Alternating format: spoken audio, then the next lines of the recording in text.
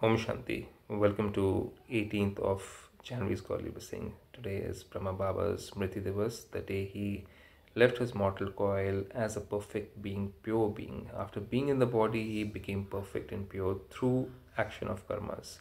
And uh, not just leaving a body makes somebody perfect, but how do we leave the body also makes us different from others. And through spirituality, we can leave the body with a lot of purity. So, Supreme Father says that may you be an example like Father Brahma and experience closeness to perfection while keeping busy in doing service. So, we reach perfection by being busy in doing service, and that's where we learn how to be pure, how to change ourselves because when we explain others, we have to change ourselves first. So, Father Brahma was doing was busy doing service, but he would listen to news and be in solitude news about what? News about what is happening everywhere in the brahmin family. Where all services are being held. What all good and bad news. Everything. Everything used to come to him.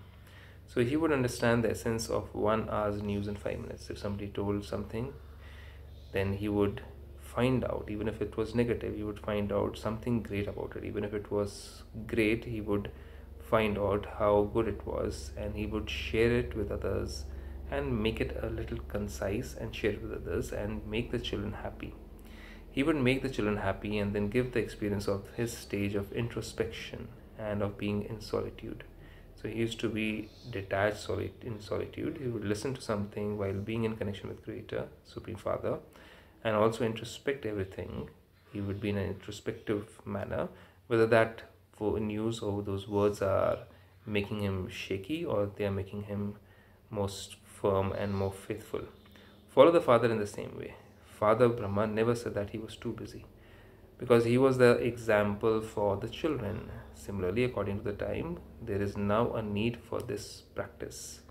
If you say, I'm very busy, I don't have time, then there's some little bit of lack in the love which we have for Father Brahma and Shiv Baba. But yes sometimes it's genuine. We genuinely don't have the time. But father says similarly according to the time there is now a need for this practice. What is the practice? That we should never say that i don't have time.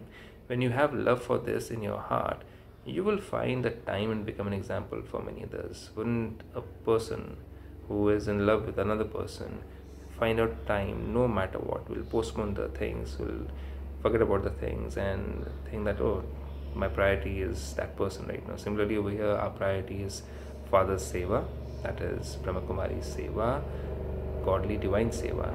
And that's what we learn in Brahma Kumaris, so that we have love for the Creator and for His creation and for what He has come to do over here on this earth. Om Shanti.